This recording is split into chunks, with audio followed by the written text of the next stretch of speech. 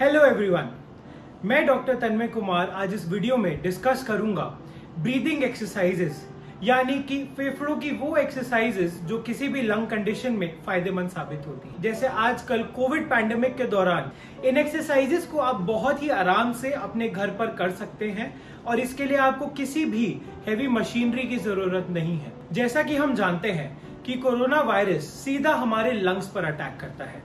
जिससे हमारी oxygen saturation जैसे आप आजकल सुन रहे होंगे एसपीओ वो भी कम हो जाता है, जिसका मतलब है कि खून में बेसिकली ऑक्सीजन की कमी हो जाती है। और कुछ लोगों को निमोनिया की परेशानी भी आती है।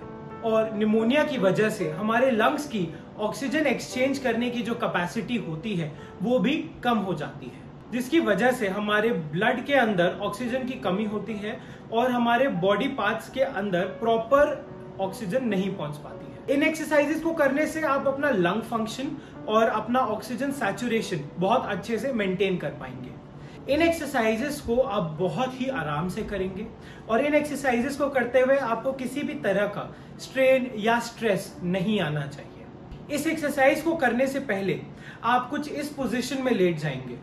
इस पोजीशन को हम मेडिकल टर्म्स में सेमी फाउलस पोजीशन भी कहते हैं। इस पोजीशन में एक्सरसाइज करने का फ़ायदा ये है कि हमारा जो डायफ्राम होता है, वो और भी नीचे आराम से जा पाता है और हमारे लंग्स को एक्सपैंड होने का और अच्छा मौका मिलता है। इससे होता यह है कि हमारे लंग्स के अंदर जो हम ऑक्सीजन का एक्सचेंज है, वो और भी अच्छा होता है और हमारा ऑक्सीजन कॉन्सेंट्रेशन बढ़ सकता है। अब आप किसी भी सोफा, चेयर या अपने बेड के ऊपर ही एक ऐसे एक इंक्लाइंड पोजीशन में बैठ सकते हैं, जिसे हम मॉडिफाइड सेमी फाउलर्स पोजीशन भी कह सकते हैं।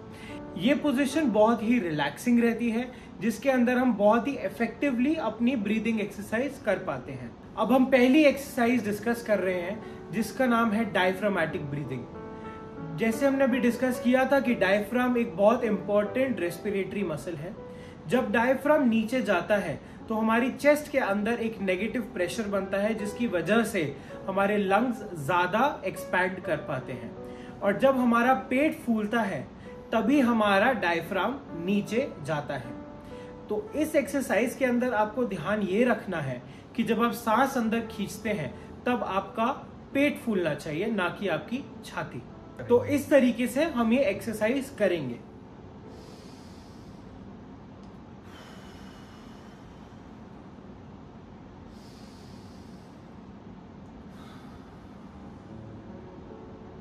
अब इस एक्सरसाइज में जैसे आपने देखा कि मेरा चेस्ट का एक्सपेंशन बहुत ही कम था और मेरा पेट ऊपर की तरफ़ आ रहा था। अब जो हम नेक्स्ट एक्सरसाइज डिस्कस करने जा रहे हैं, वो है पर्स लिप ब्रीदिंग इसके अंदर आपको क्या करना है कि आप नाक से गहरी सांस लेंगे और मुँह से सांस छोड़ते हुए आपको फूक मारते हुए सांस को छोड़ना है।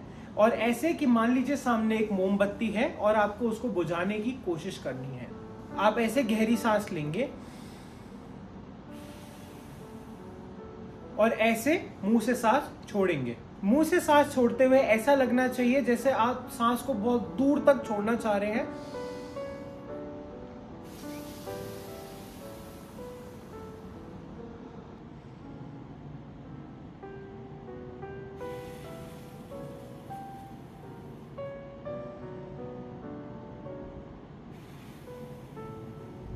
इस एक्सरसाइज को करते हुए हमारे लंग्स में एक पॉजिटिव प्रेशर जनरेट होता है, जिसकी वजह से हमारा ऑक्सीजन का एक्सचेंज बेटर होता है। अब हम बात करेंगे थोरासिक एक्सपेंशन एक्सरसाइजेस के बारे में। इस एक्सरसाइज के टाइम पर हमारा जो थोरासिक केज होता है, वो एक्सपैंड करता है, जिसकी वजह से हमारे लंग्स को और अच्छी जगह मिलती है एक्सपैंड करने के लिए और हमारा ऑक्सीजन एक्सचेंज बेटर हो पाता है। इस एक्सरसाइज को करते हुए जब आप सांस लेंगे तो आपकी कंफर्ट के हिसाब से आप अपने हाथ या तो आगे से ऊपर उठाएँगे या आप ऐसे साइड से हाथ ऊपर उठाएँगे। आपको सांस अपनी नाक से ही लेनी है और आपको अपनी सांस जो छोड़नी है, वो मुँह से ही आप छोड़ेंगे।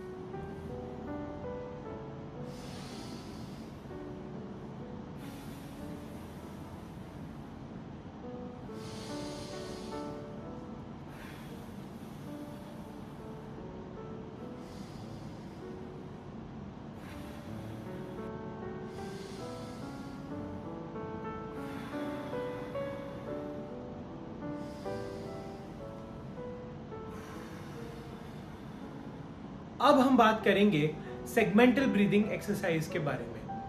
इसके अंदर हमारा मेन गोल होता है कि हम लंग के किसी एक पार्ट को ज़्यादा एयर प्रोवाइड करना चाहते हैं, ताकि वहाँ की एक्सपेंशन ज़्यादा हो। ये एक्सरसाइज को करने के लिए आपको किसी भी दुपट्टे, चुन्नी या कोई भी कपड़े की, जो कि लंबा हो, उसकी ज़रूरत पड़ेगी।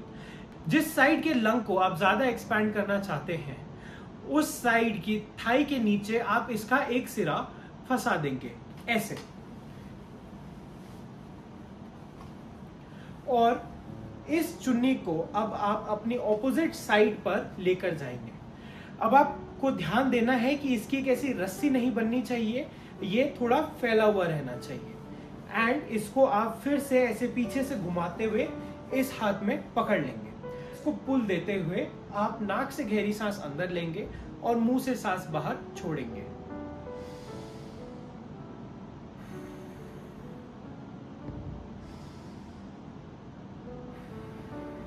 इस एक्सरसाइज से क्या फ़ायदा होता है कि इस तरफ़ का एक्सपेंशन को मैंने ब्लॉक कर दिया है? जिसकी वजह से इस साइड में मुझे ज़्यादा एयर एंट्री मिलेगी और इधर के लंग को ज़्यादा एक्सपेंशन मिलेगी। अब हम बात करेंगे प्रोनिंग की, जिसे हम उल्टा लेटना या पेट के बल लेटना भी कहते हैं। कई रिसर्चेज में यह पाया गया है कि जब आप उल्टा लेट कर डीप ब्रीदिंग एक्सरसाइज करते हैं तो हमारा ऑक्सीजन सैचुरेशन लेवल जो है काफ़ी इंक्रीज होता है। कई रिसर्चेज में ये पाया गया है कि जब आप उल्टा लेट कर डीप ब्रीदिंग करते हैं तो उससे आपका ऑक्सीजन सैचुरेशन में 10 परसेंट का इंक्रीज आता है। अब इसके अंदर जो बेस्ट तरीका है, वो जब आप उल्टा लेटते हैं तो आपको अपने आप को तकियों से सपोर्ट करना चाहिए, ताकि आप एक अच्छी रिलैक्स्ड पोजीशन में लेट कर डीप ब्रीदिंग एक्सरसाइज कर पाए। जिसकी वजह से आपका ऑक्सीजन सैचुरेशन इंक्रीज होगा। अब आपको उल्टा लेट कर डीप ब्रीदिंग एक्सरसाइज करनी है, आपको नाक से गहरी सांस अंदर लेनी है और मुँह से गहरी सांस बाहर छोड़नी है। आप लेटे हुए आप तकियों का इस्तेमाल कर सकते हैं, अगर आप चाहते हैं तो। आप तकिए को अपने सर के नीचे, अपने हाथ या अपने पैर के नीचे रख सकते हैं, जैसे भी आपको कंफर्टेबल लगता है। आप ऐसे उल्टा लेट कर आराम, ऐसे तकिए लगा सकते हैं और आराम से नीचे लेटते हुए